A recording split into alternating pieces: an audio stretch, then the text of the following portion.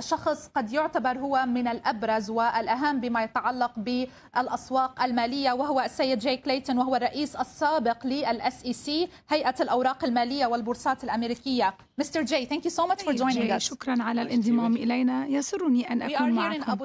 نحن هنا نشارك في أسبوع أبو ظبي المالي والتركيز كبير بالطبع على أسواق الطروحات الأولية في هذه المنطقة مع هذه الطفرة الكبيرة في الطروحات في المملكة العربية السعودية ودولة الإمارات. ما رأيكم بهذه النشاطات القوية وإلى أي مدى هي مستدامة؟ الاستدامة هو الجوهر. إن الطروحات الأولية هي عنصر من تشكيل رأس المال، هناك عوامل أخرى سأعددها وبعدها سوف أقول لك كيف أن ما يحصل هو مشجع. من الجيد أن يكون لدينا الطروحات الأولية وأسواق تداول ثانوية حيث المتداولون يرغبون ببيع وشراء ولذلك أيضا نحن لابد من أن يكون لدينا سوق الائتمان أي التمويل لأن الشركات التي تريد الطروحات أو تقوم بالطروحات الأولية فهي بحاجة للتمويل ليس فقط عبر الاستحواذ. وبالعودة إلى ما سمعناه البارحة واليوم فنحن نعرف بان حكومة أبو ظبي وكل المعنيين حريصون على أن يكون لديهم سوق متعدد الأوجه ومن بين هذه الأوجه الاستدامة. يسرني أنه لدينا تدفق مالي قوي والطروحات الأولية في المناطق الأخرى تواجه تحديات عكس ما هو في هذه المنطقة. أنا متأكدة أنك كنت تتابع ما يحصل في أسعار النفط وأسواق النفط في السنوات الأخيرة. عندما بدأت أوبك بخفض المنتجات أو الإنتاج وأيضا أوبك بلس. يبدو أن الولايات المتحدة الأمريكية انتقدت هذا التوجه لأوبك وأوبك بلس. وأن العديد من التقارير الإعلامية تتحدث عن تصدع العلاقة بين المملكة العربية السعودية والولايات المتحدة الأمريكية. هل تعتبر بأن النفط اليوم هو العامل الأساسي الأساسي في العلاقة الدبلوماسية بين الدولتين.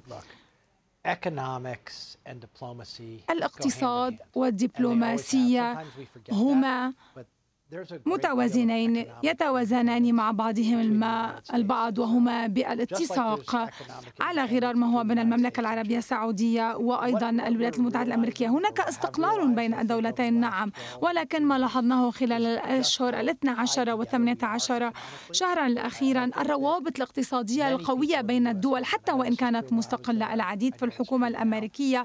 وعندما كنت في منصبي أعرف بأن الجميع يدركون مدى أهمية العلاقات الثنائية ثنائية الأطراف مع المملكة العربية السعودية. وأعتقد سأفسر الأمر بطريقة مختلفة. أمل بأن ما نشهده فقط هو مناوشات وليس تصدع في العلاقة. هل هذا هو الحال بين الولايات المتحدة الأمريكية والصين؟ الرئيس شي جين بينغ كان قد التقى بالرئيس جو بايدن في قمة سنغافورة. هل نحن نشهد إعادة انطلاق للعلاقة الأمريكية الصينية؟ وأيضا ما الذي تعتمد عليه الشركات الأمريكية والصينية؟ بالعودة إلى السؤال إلى التداخل العلاقة بين الدول وبيننا وبين الصين وهذه العلاقة الصينية الأمريكية. الترابط قوي جدا والتداخل قوي جدا رغم الاستقلال. ما شاهدناه بالنسبة إلى الرؤساء التنفيذيين للشركات هو إدراك واعتراف بأن أي تصدع في العلاقات أو أي انفكاك أو أي تباعد سيكون لديه تداعيات سيئة جدا على الصين وعلى الولايات المتحدة الأمريكية.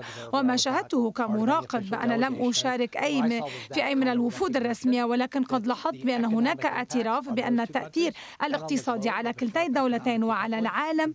جراء هذا الفك في العلاقة أو التصدع يؤثر على الجميع سلباً. سنعقد مؤتمر الأطراف كوب 28 بعد بضعة أيام. إذا ما نظرنا إلى ما قد حصل في السنوات الماضية يبدو بأنه لدينا التحديد للأهداف وإقامة الفعاليات ولكن الحكومات عالميا والشركات لا تقوم بما يكفي لكي تقوم بتلبية الاستراتيجيات المناخية وتحقيق الأهداف المناخية. هل برأيك هذا سيتغير؟ أنا أشعر بالإحباط وذلك لأنه لدينا الكثير من الكلام والأنشطة عندما كنت في هيئة الأوراق المالية والبورصات الأمريكية كنا تحت الضغط لكي نضع اللوائح التنظيمية لكي نقوم بإبعاد الاستثمار عن كل ما يسبب في انبعاثات كربونية وندعم كل ما يؤدي إلى التحول نحو الاقتصاد الأخضر. ولكن دون خطة انتقال واضحة خطة تحول. نحن نسمع عن الأهداف ولكن لا نسمع عن كيفية الوصول إلى الأهداف. الوصول إلى الهدف بالطبع يأتي بتكلفة. لدينا طرق فعالة لنصل إلى وجهة معينة وطرق غير فعالة. نحن لا نتحدث عن المسار أو الكيف. نتحدث فقط عن الأهداف وتحديد المستهدفات ولكن لا نتحدث كيف سنصل إلى تحقيق هذه الأهداف. وأي من القطاعات التي سيتم دعمها حكوميا وماليا وأي منها لن تحصل على الدعم. هذا ليس النقاش الذي علينا أن نجريه إذا ما فعلا أردنا أن نحقق هذه الأهداف.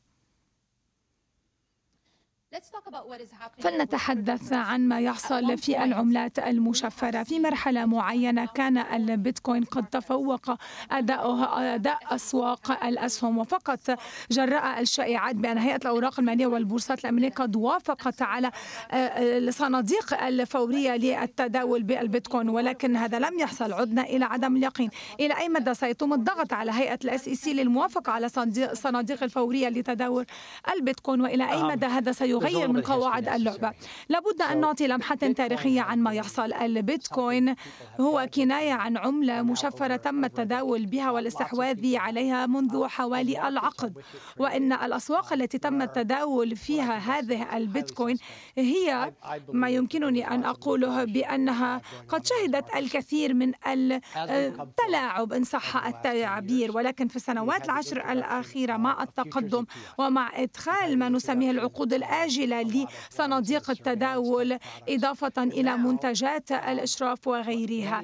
فاليوم نحن لدينا عدد كبير من المشاركين الموثوق بهم في الأسواق الذين يقولون بأن الصناديق الفورية يتداول بها بشكل جيد وليس فيها أي احتيال أو أي تلاعب كما حصل من قبل.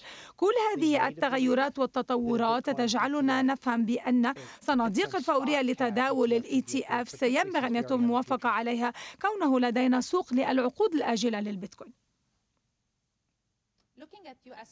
بالنظر إلى السياسة النقدية الأمريكية uh, وعلى المستوى الاقتصادي هل تعتبرون أن جيروم باول يقوم بعمل جيد؟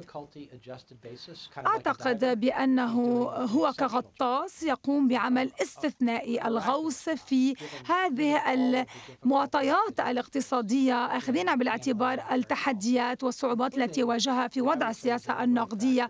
وبما وبما ذلك أيضا العوامل التي هي لا سابقة لها لم يكن لدينا أي سابقة من قبل إغلاق تام جراء كوفيد 19 هذا هو أحد الأمثلة. لا من سابقة أبدا لما يحصل حاليا على المستوى الاقتصادي العالمي. أخذين كل هذا بالاعتبار بالإضافة إلى التمويل المالي الذي لا سابق له لقد قام بعمل جيد.